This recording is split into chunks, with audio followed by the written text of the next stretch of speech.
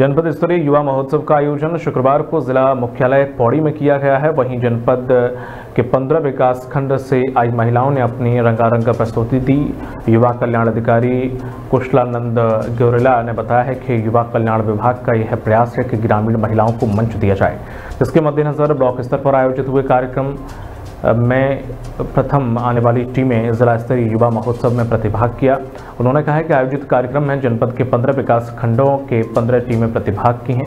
जो अपनी तीन तीन प्रस्तुतियाँ कार्यक्रम में देंगी, वहीं कार्यक्रम में मुख्य अतिथि के रूप में जिला पंचायत अध्यक्ष पौड़ी शांति देवी पहुँची।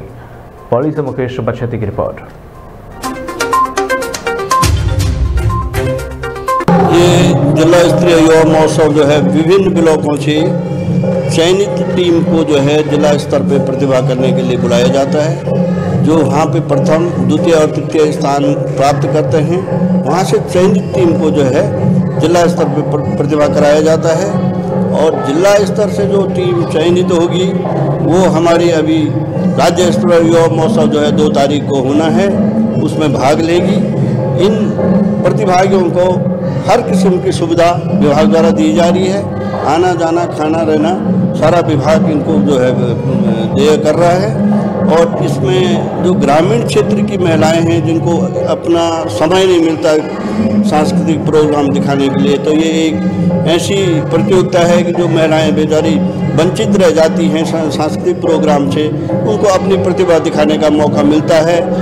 सर्वप्रथम आज मैं माननीय प्रधानमंत्री श्री नरेंद्र मोदी जी के माता जी का निधन हुआ है, उन्हें भावपूर्ण श्रद्धांजलि देती हूँ, जो कि पूरे प्रदेश भर, देश भर के लिए बहुत ही दुखद घटना है। और जैसा कि आज यह युवा महोत्सव कार्यक्रम मनाया जा रहा है, मैं समझती हूँ कि ऐसा कार्यक्रम हर साल मनाना चाहिए, इससे हमारी युवाएँ प्रतिभा उभर कर आती है। और उन्हें मंच मिलता है तो अपनी कलाएँ दिखाने का उन्हें ये मौका मिलता है।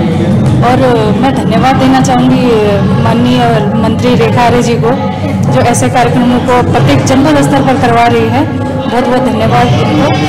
और ऐसे कार्यक्रमों से हमारी माताएँ बहनें जो कि ग्रामीण क्षेत्रों से आती है, वो अपने, अपना, अपने लिए भी समय निकाल पाती है। बहुत ही मतलब सौभाग्य मिलता है उन्हें ये अपना प्रतिभा दिखाने का। और ऐसा मौसम हमें मनाना चाहिए।